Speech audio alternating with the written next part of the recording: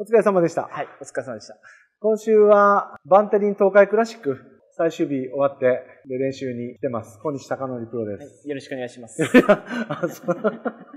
チャグル TV 始まるよさあ今週どんな感じでした？今週は、まあ調子悪くてう、ん右に滑っていくような。あなるほどね。はいわかりました。ちょっともう一回打ってみて。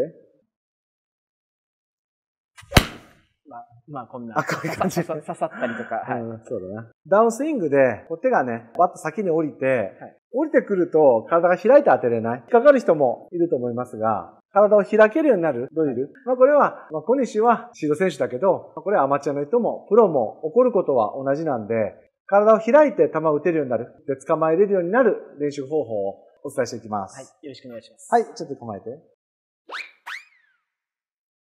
まず、テイクバック引いて止めます。で、ハーフ、まあ、ちょうど腰ぐらいの位置までグリップ引いて、ここで止めて、1、2の3で腰と肩を45度開く。開いた後に、左へ振ります。止めて、そこから1、2の3で開く。で、手返しちゃう。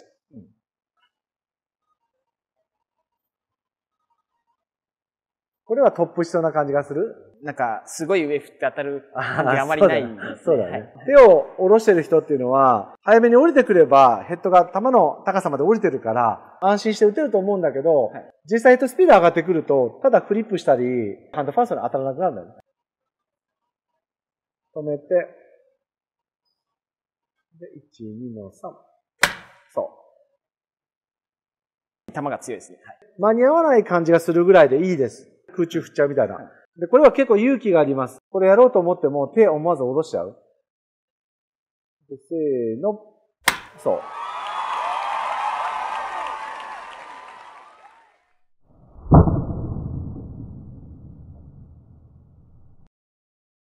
結構押してる感。まあうん。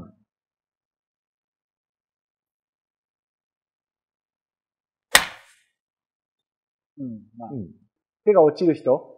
ダフってチーピンするとか、ペラペラっとカシャッと右に行く人はやるといいんですけど、同じ症状ですね。はい。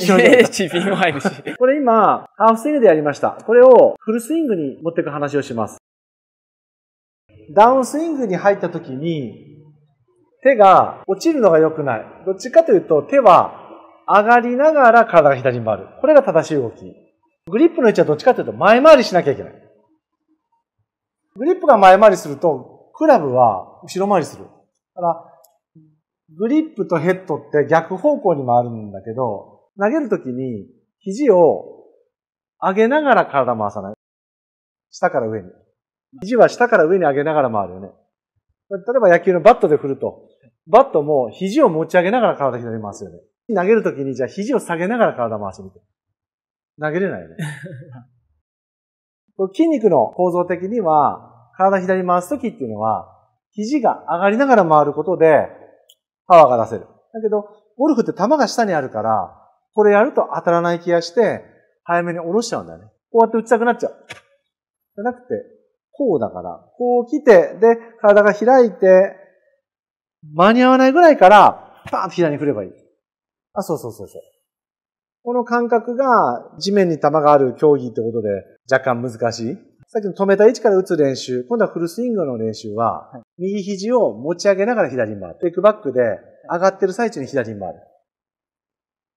そうそうそう。それで左に振ってみて。体開いて左に振り抜きます。球が全然、当たりが全然、調子がいいとき。調子いい時 肘が上がってる最中に左に回る。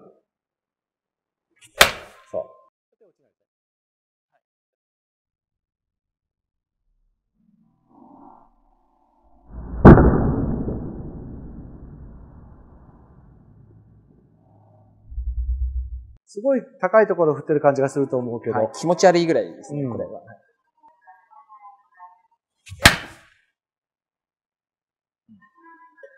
いいですね。よくね、こう体が開いちゃいけないっていう人もいますが、感覚としてはね、切り返した時にこう開かないで踏むとか、開いてないと思ってるかもしれないけど、まあ映像見てもらって、インパクトで腰とか肩が開いてない状態で当たるなんてことはありえなくて、まあ、本人の感覚と実際がどうかっていうのはまた別のところで、体が開くから、結果的に熱く当たって球が飛ぶ状態になる。でもヘッドスピードっていうのは速いから、先に体が開いてなきゃいけない。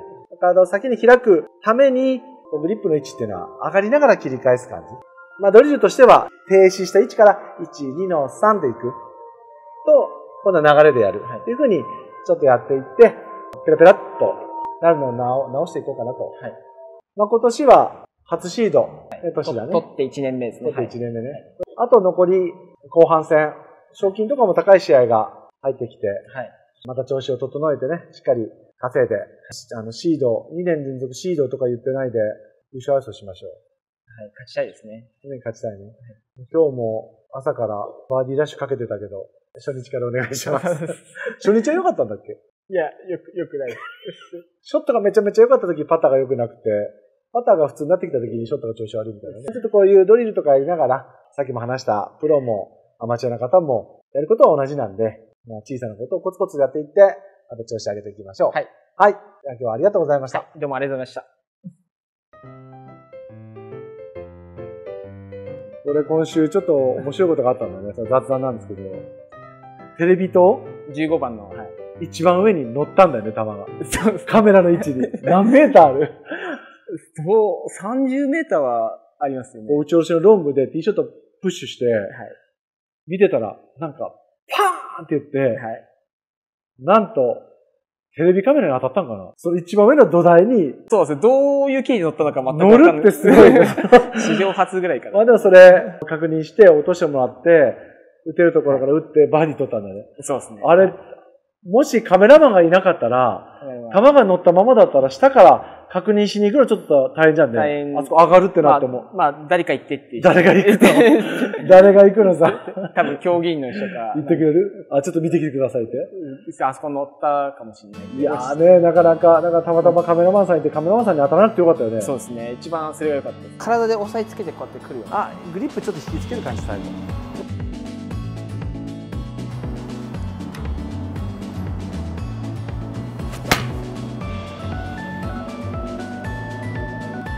かりました。